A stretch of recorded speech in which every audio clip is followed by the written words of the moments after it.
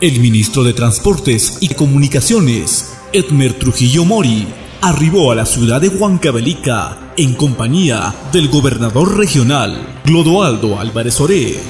y los congresistas de la República, Guido Lombardi y William Monterola, luego de un riguroso recorrido por la vía férrea que une Huancayo y Huancavelica.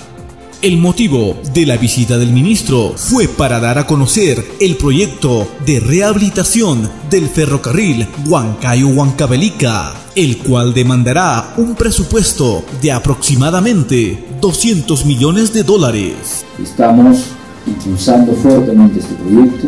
y estimamos que el primer trimestre del siguiente año se dará la buena prueba Trujillo manifestó que el proceso para su adjudicación y posterior concesión por 30 años es conducido por Proinversión. Este es un proyecto que está en Proinversión,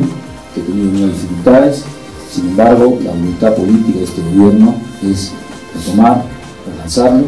y esa decisión que se ha tomado. Dicho proceso implica la rehabilitación integral de puentes, rieles, estaciones, ampliación de túneles, vagones, entre otros, ya que esto mejorará y modernizará considerablemente el servicio a la población. Debe ser mejorado también en términos de